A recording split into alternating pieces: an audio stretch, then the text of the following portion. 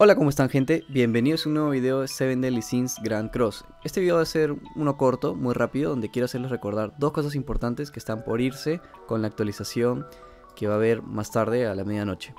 La primera es el evento de las 7 catástrofes, solo queda un día con 9 horas, así que les hago recordar que canjeen todas las cosas de la tienda, como estas piedras de despertar y los trajes sobre todo, ya que si en algún momento vuelve este evento y los ponen de nuevo, vamos a poder canjearlos por materiales de mejora de, de equipamientos, de los accesorios, y eso está muy bueno, así que canjeenlos todos, son gratis y son UR, está bien.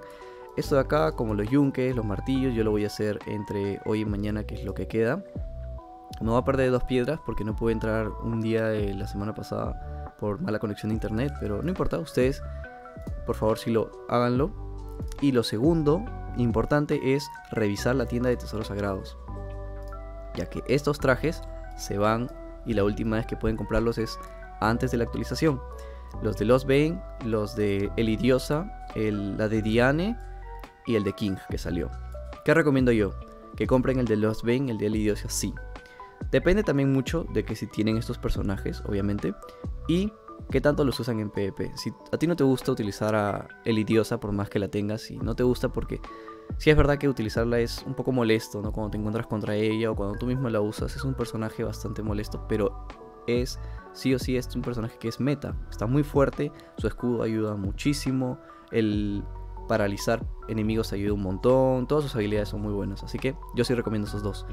Estos guantes de Diane depende mucho, si vas a utilizarla, pues podrías comprarlo, pero si no, no. Y este King aunque sea un personaje de festival, solo te recomendaría comprarlo si a ti te gusta mucho ese personaje o te gusta mucho este skin. Ya que el equipo en sí está perdiendo el meta que tuvo apenas salió y hasta cuando salió ya había bastantes counters contra esto, no es muy recomendado. Luego en estos conjuntos que son las ropas, el de El Idiosa sí o sí está muy fuerte. El de Diane yo me lo compré más que todo por estético. Me gusta mucho cómo se ve este traje y planeo traer equipos y videos con esta Diane verde, así que por eso lo compré. Y este de los Ben es muy interesante. Yo no lo voy a comprar, pero sí recomiendo que lo compres si es que tienes las gemas y si es que te faltan conseguir trajes UR para los Ben.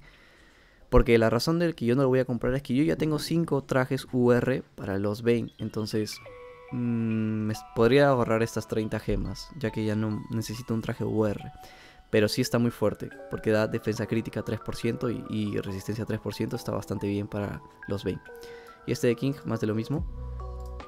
Y luego en accesorios de cabeza, el de los Bane y el de El Idiosa sí lo recomiendo un montón. El de Diane solamente si planean utilizarla, si planean hacer equipos, o si te gusta mucho cómo se ve este traje, si no, no. Y el de King también.